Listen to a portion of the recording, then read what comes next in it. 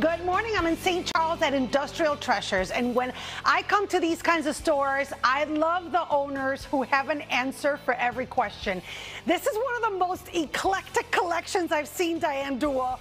I wonder what's in your brain when you're shopping. Good morning. Good morning. I was telling you and my producer I could do the entire segment on this table because it's so random what you pick. For example, you're like, look at the blowtorch. I'm like, what blowtorch? Where did you find this? It's a European blowtorch. Mm-hmm. A gentleman in France Mm. uh, had a hobby of restoring these. Wow. And so he was an authority, had special tools to do it and all of that. They're all polished and lacquered, so they'll stay nice and shiny. I'll see They're all mirrors. super interesting. I, I see a thermos that my mom used to have. This gorgeous sewing machine. When is this from? yeah, oh, I don't know the date. No, that's okay. Okay. But where did you find it?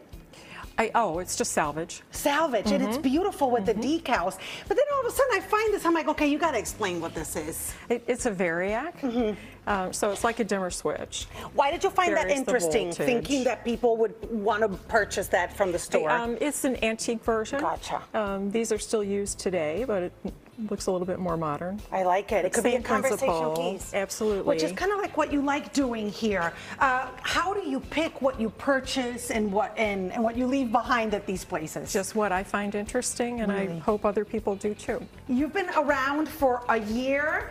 Uh, I love that. It, I'm getting so old that these things look exactly like how what was in my parents' house. Tell me about the furniture that you have here. It's different. This, this is mm-hmm. from two different designers, actually. Mm-hmm. These are ultra suede chairs, modern, obviously, mm-hmm. and a bevel glass table. But This is one that you can still buy today. It's actually brand new. Right. Look at that. And there are blueprints. There's uh, all sorts of great stuff to find here. When we come back around town, we will have more from Industrial Treasures in St. Charles.